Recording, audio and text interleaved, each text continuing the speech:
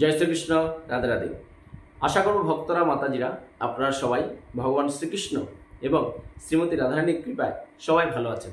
আর আপনারা যাতে বন্ধু বান্ধব আত্মীয় স্বজন সবাইকে নিয়ে সবসময় ভালো থাকতে পারেন, সেটাই আমি ভগবান শ্রীকৃষ্ণ এবং শ্রীমতী রাধারানীর চরণে সবসময় প্রার্থনা করি।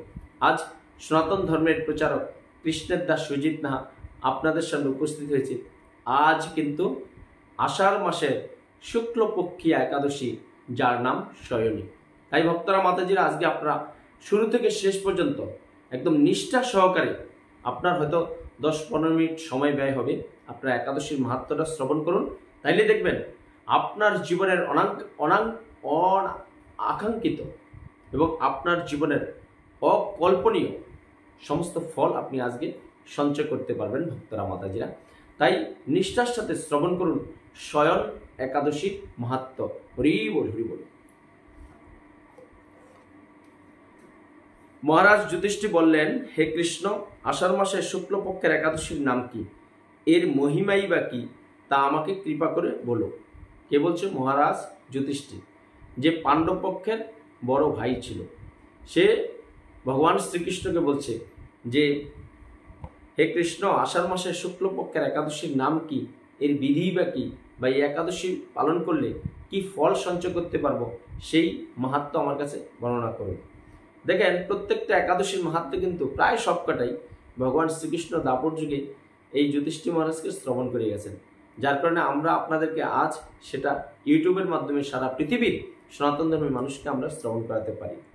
তাই শ্রীকৃষ্ণ বললেন, ব্রহ্মা এই একাদশী সম্পর্কে দেবর্ষি নারদকে যা বলেছিলেন, আমি সেই আশ্চর্যজনক কথা আপনাকে বলছি। শ্রী ব্রহ্মা বললেন, হে নারদ এই সংসারে একাদশীর মতো পবিত্র আর কোনো ব্রত নেই। সকল পাপ বিনাশের এই বিষ্ণু ব্রত পালন করা একান্ত আবশ্যক। যে ব্যক্তি এই প্রকার পবিত্র পাপনাশক এবং সকল অভিষ্ট প্রদাতা একাদশী ব্রত না করে, তাকে নরকগামী হতে হয়। তাই ভগবান শ্রীকৃষ্ণ উত্তরে কি বলল? যে ব্রহ্মা নারদকে এই একাদশী সম্পর্কে একটা অলৌকিক কাহিনী বর্ণনা করেছেন, সেটাই আমি আপনাকে এখন শ্রবণ করাচ্ছি। তা ভগবান শ্রীকৃষ্ণ বলল যে, ভগবানকে খুব সহজেই প্রীতি সাধন করা যায় এই একাদশী ব্রত কারণে। সকল ব্রতের শ্রেষ্ঠ ব্রত হলো একাদশী এবং একাদশী ব্রত পালন করলে আপনার জীবনের সমস্ত পাপ বিনাশ হয়। যারা যে সমস্ত সনাতন ধর্মী মানুষরা একাদশী ব্রত পালন না করেন তাদেরকে কি করতে হয়? মৃত্যুর পরে আপনাকে নরকে যেতে হবে, ভক্তরা মাতাজিরা। তাই আপনারা আসুন, হৃদয়ে কৃষ্ণ চেতনা, কৃষ্ণ ভবনায় জাগ্রত হয়ে আমরা সকল একাদশী ব্রত করব, আর কিছু করিবা না করি ভক্তরা মাতাজিরা। তাই আষাঢ় মাসের শুক্লপক্ষের একাদশী শয়নী নামে বিখ্যাত। শ্রী ভগবান ঋষিকেশের জন্য এই ব্রত পালন করতে হয়। এই ব্রতের সম্বন্ধে এক মঙ্গলময় পৌরাণিক কাহিনীর নাম আছে, আমি এখন তা বলছি। ভগবান শ্রীকৃষ্ণ বলছে যে, আষাঢ় মাসের শুক্লপক্ষে একাদশীর নাম শয়নী নামে বিখ্যাত। তাই এই একাদশী নামে একটা পৌরাণিক খুব মাহাত্ম গল্প আছে, এটা আমি এখন আপনার কাছে শ্রবণ করছি, আপনাকে শ্রবণ করাচ্ছি। বহু বছর পূর্বে সূর্য বংশের মান্দাতা নামে একজন রাজস্বী ঋষি ছিলেন। তিনি ছিলেন সত্য প্রতিজ্ঞ ও প্রতাপশালী চক্রবর্তী রাজা। প্রজাদেরকে তিনি নিজের সন্তানের মতো প্রতিপালন করতেন। সেই রাজ্যে কোনো রকম দুঃখ রোগ ব্যাধি দুর্ভিক্ষ, আতঙ্ক, খাদ্যাভাব অথবা কোনো অন্যায় আচরণ ছিল না।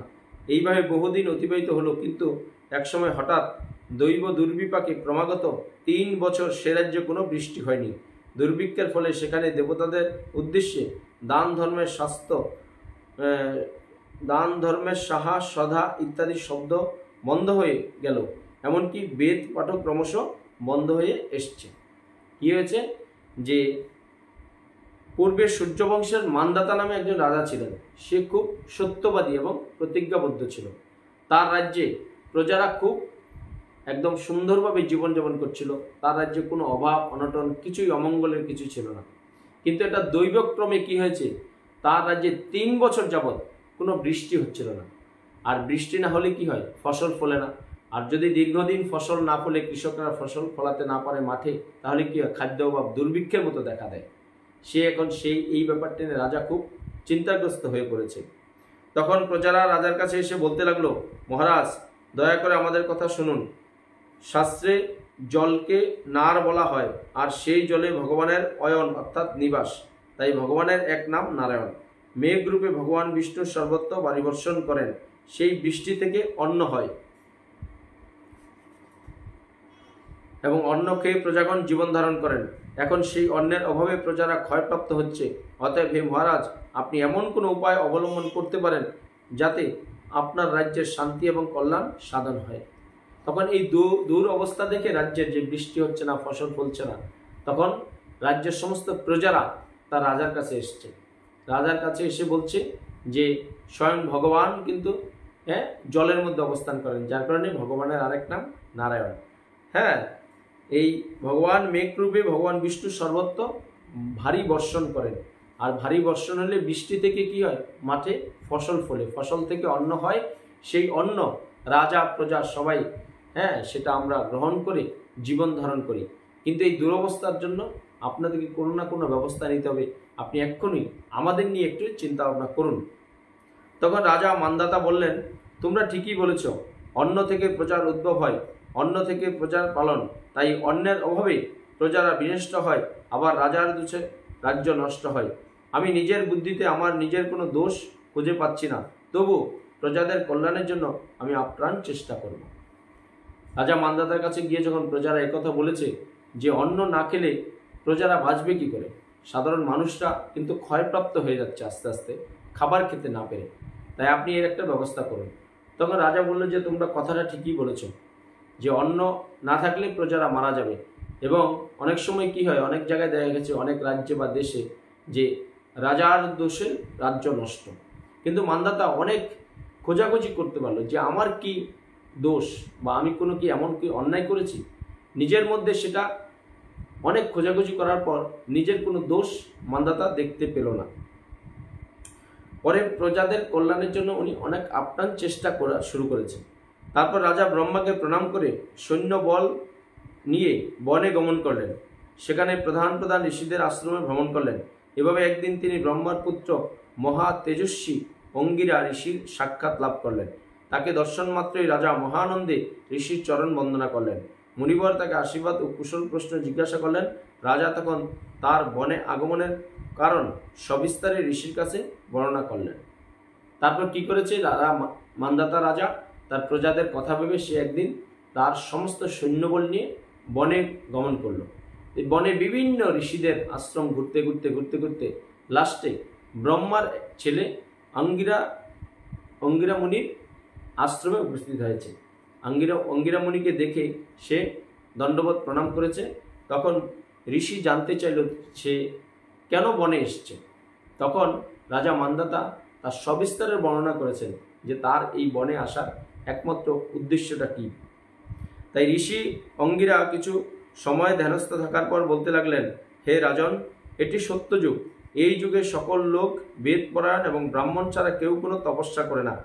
এই নিয়ম থাকা সত্ত্বেও এক শূদ্র এই রাজ্যে তপস্যা করছে। আর তাই অকার্যের, তার অকার্যের জন্যই রাজ্যের এই দুর্দশা। তাই তাকে হত্যা করলেই সকল দোষ দূর হবে। তাই রাজা মান্দাতার এই কথা শুনে ঋষি অঙ্গিরা কি করেছে? ধ্যানস্থ হয়েছে। ধ্যান করে সে দেখতে পেল যে তার রাজ্যে একজন শূদ্র হ্যাঁ ভগবানের তপস্যা করছে। কিন্তু এটা শুধু কি সত্যযুগ সত্যযুগের যুগধর্ম কি ছিল? যে হাজার হাজার বছর ধ্যান তপস্যা করা। কিন্তু সত্য, ত্রেতা, দাপর এই তিন যুগে কি ছিল? শুধু ভগবানের সেবা একমাত্র ব্রাহ্মণরাই করতে পারবে। আর রাজা মান্দাতা কি ছিল? চক্রবর্তী। তখন বলেছে যে তোমার রাজ্যে ভগবানের সেবা এই আরাধনা করছে একজন শূদ্র যদি তুমি তাকে হত্যা করো, তাহলে তোমার এই রাজ্যের দুরবস্থা কেটে যাবে তবে রাজা বললেন, হে মুনিবর তপস্যাকারী, নিরপরাধ ব্যক্তিকে আমি কীভাবে বধ করব। আমার পক্ষে সহজসাধ্য অন্য কোনো উপায় থাকলে আপনি দয়া করে বলুন তাই রাজা মান্দাতা যেহেতু ছিল ধার্মিক এবং ভগবানের একজন একনিষ্ঠ ভক্ত, তখন বলছে যে, এই তপস্যারত এই লোককে আমি কি করে বধ করব। আমি এই জঘন্য কাজ করতে পারব না।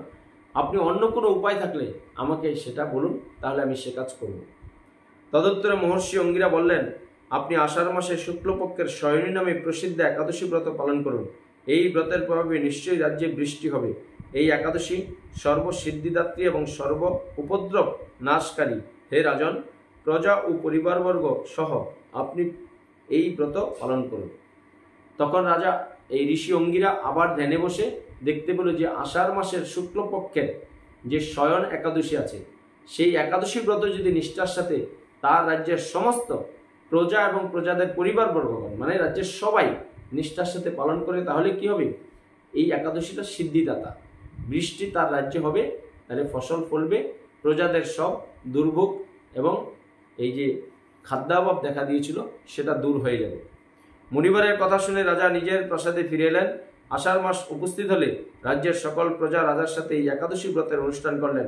ব্রত প্রভাবে প্রচুর বৃষ্টিপাত হলো। কিছুকালের মধ্যেই অন্না অভাব দূর হলো। ভগবান ঋষিকেশের কৃপায় প্রজাগণ সুখী হলো। তারপরে কি করেছে? এই অঙ্গিরা ঋষির কথা শুনে রাজা মান্দাতা তার রাজ্যে ফিরে এলো। যথাসময়ে এই আষাঢ় মাসের শুক্লপক্ষের যখন একাদশী তিথি এসছে শয়ন একাদশী, সে রাজ্যের সমস্ত প্রজা পরিবারগণ সবাই মিলে নিষ্ঠার সাথে আনন্দ সহকারে পালন করার ফলে প্রচুর বৃষ্টিপাত হয়েছে।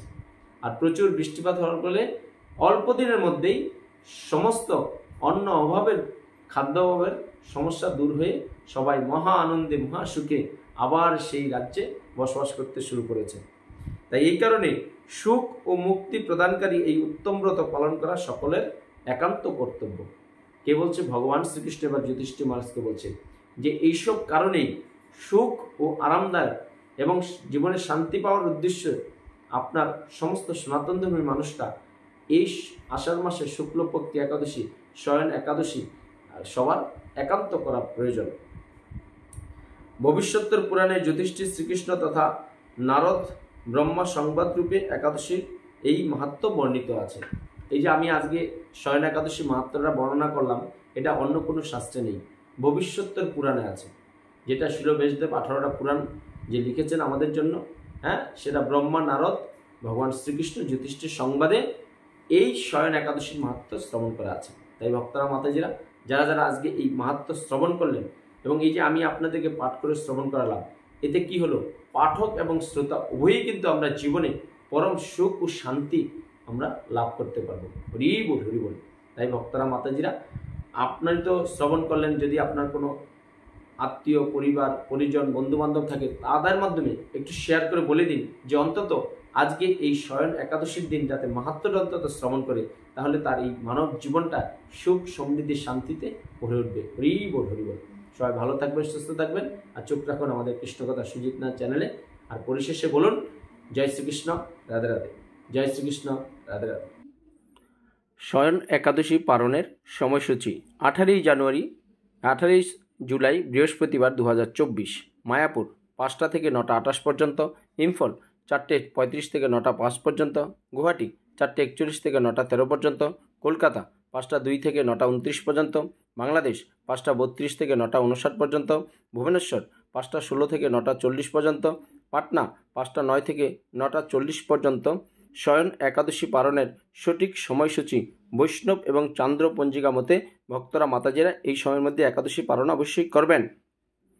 শয়ন একাদশী পালনের সময়সূচি আঠারোই জুলাই, বৃহস্পতিবার দু হাজার চব্বিশ, কাঠমান্ডু পাঁচটা উনিশ থেকে নটা তেপ্পান্ন পর্যন্ত, চেন্নাই পাঁচটা একান্ন থেকে দশটা সাত পর্যন্ত, নাগপুর পাঁচটা একচল্লিশ থেকে দশটা সাত পর্যন্ত, বৃন্দাবন পাঁচটা পঁয়ত্রিশ থেকে দশটা আট পর্যন্ত, দিল্লি পাঁচটা পঁয়ত্রিশ থেকে দশটা নয় পর্যন্ত, হায়দ্রাবাদ পাঁচটা একান্ন থেকে দশটা এগারো পর্যন্ত শয়ন একাদশী পালনের সঠিক সময়সূচি বৈষ্ণব এবং চান্দ্রকা পঞ্জিকা মতে আপনারা সবাই এই সময়ের মধ্যেই অবশ্যই পালন করবেন। শয়ন একাদশী পালনের সময়সূচি আঠারোই জুলাই বৃহস্পতিবার দু হাজার চব্বিশ, ত্রিবান্ধব ছটা এগারো থেকে দশটা তেইশ পর্যন্ত, কলম্বো ছটা দুই থেকে দশটা বারো পর্যন্ত বেঙ্গালুর ছটা এক থেকে দশটা সতেরো পর্যন্ত, মুম্বাই ছটা দশ থেকে দশটা তেত্রিশ পর্যন্ত, আহমেদাবাদ ছটা চার থেকে দশটা একত্রিশ পর্যন্ত উধমপুর, পাঁচটা তেত্রিশ থেকে দশটা পনেরো পর্যন্ত শয়ন একাদশী পালনের সঠিক সময়সূচি, ভক্তরা, মাতাজিরা, আপনারা পৃথিবীর যে যেখানে থাকবেন, এই সময়গুলো আন্তর্জাতিক সময়ের সাথে মিলিয়ে আপনারা এই শয়ন একাদশী পালন অবশ্যই সঠিক সময়ে করবেন। কারণ কি? পালন যদি আপনি ঠিকমতো না করেন, তাহলে একাদশীর সম্পূর্ণ ফল আপনি সঞ্চয় করতে পারবেন না। কৃষ্ণকথা সুজিত নাথ চ্যানেল সাবস্ক্রাইব করুন। আমার সাথে শ্রীকৃষ্ণ ও রাধারানীর কৃপা লাভ করুন। এই অমূল্য মানব জীবনে কৃষ্ণ চেতনা, কৃষ্ণ ভাবনায় জাগ্রত করে ভগবান শ্রীকৃষ্ণ ও শ্রীমতী রাধারানীর সেবার মাধ্যমে যাতে মৃত্যুর পরে অবাকৃত জগতেকে আপনারা ভগবান শ্রীকৃষ্ণ এবং শ্রীমতী রাধারানীর কৃপা লাভ করতে পারেন, সেই রাস্তাটা আস্তে আস্তে প্রশস্ত করুন এবং পরিশেষে বলুন, জয় শ্রীকৃষ্ণ, রাধে রাধে।